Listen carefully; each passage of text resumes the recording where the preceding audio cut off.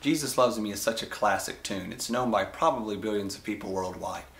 What I'm going to do now is I'm going to play three versions of that song for you. A beginner, a sort of intermediate, and then a more advanced version. Please like and subscribe if you enjoy and let me know what you think in the comments.